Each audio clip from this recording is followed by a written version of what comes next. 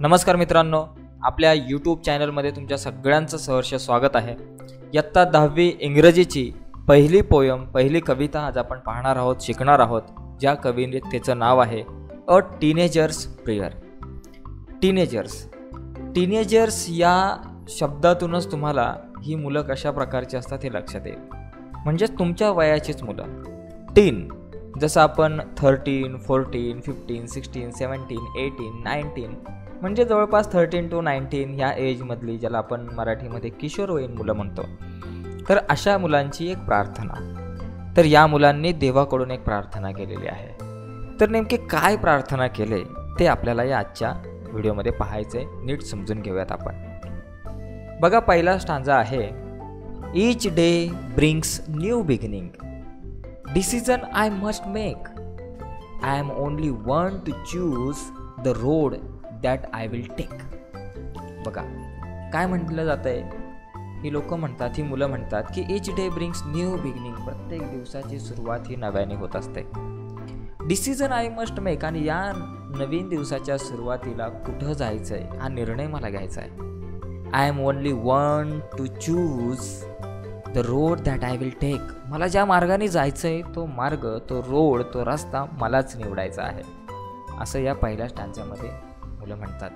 की प्रत्येक दिवसाची सुरुवात ही नवीन आशेने होत असेल नव्याने होते आणि या नव्याने होणाऱ्या सुरुवातीमध्ये कुठं जायचं आहे त्या दिवसात याचा निर्णय आम्हाला घ्यायचा आहे. पुढचं कडवं आहे I can choose to take the road of life that leads to great success or travel down the darkened road that leads to great distress.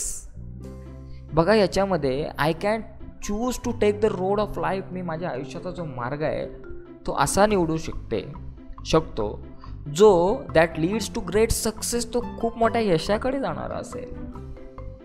Or पुढं म्हटलं जाते ऑर किंवा travel down the darkened road darkened म्हणजे काय? अंधकारमय असेल.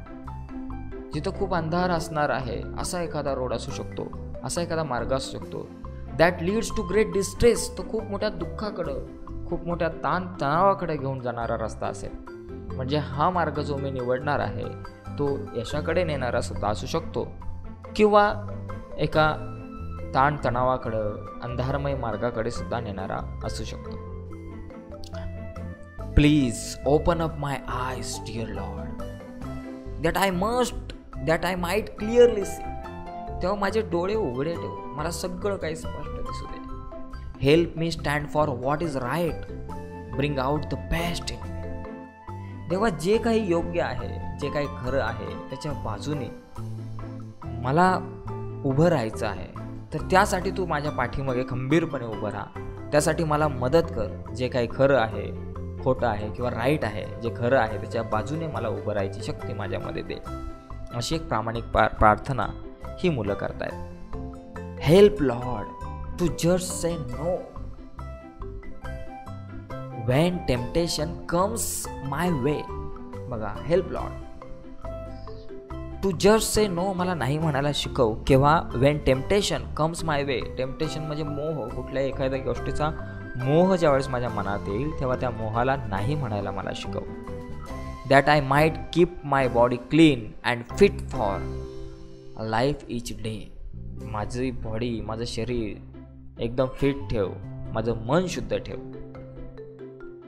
आणि शेवटी या पोयममध्ये ही मुलं म्हणतात when my teenage years are over I know that I will see that life is live its very best with you walking next to me म्हणजे when my teenage years are over ज्यावेळेस माझं किशोरवयीन वय जे आहे ते संपलेलं असेल.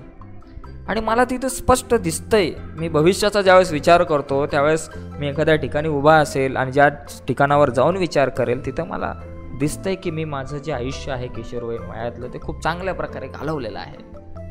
आणि मी माझं आयुष्य खूप चांगल्या प्रकारे व्यतीत केलेलं आहे आणि तू तेव्हा माझ्यासोबत होता आणि तू आजही माझ्यासोबत आहे. तर अशा प्रकारे ही जी कविता आहे ती आपण समजून घेतलेली आहे. नक्कीच ही व्हिडिओ आवडली असेल तर व्हिडिओला लाईक करा. नवीन असाल तर चॅनल सबस्क्राईब करून त्या बाजूला एक बेलचं बटन आहे ते सुद्धा दाबा. जेणेकरून आम्ही अपलोड केलेल्या प्रत्येक नवीन व्हिडिओची नोटिफिकेशन तुमच्यापर्यंत पोहोचेल. ओके बाय मित्रांनो. पुन्हा एकदा ही कविता आपण बघूयात वाचून. Each day brings new beginning decision I must make. I am the only one to choose the road that I will take. I can choose to take the road of life that leads to great success, or travel down the darkened road that leads to great distress. Please open up my eyes, dear Lord, that I might clearly see. Help me stand for what is right Bring out the best in me. Help Lord to just say no when temptations comes my way that I might keep my body clean and fit for life each day. When my teenage years are over, I know that I will see that life is live its very best with you walking next to.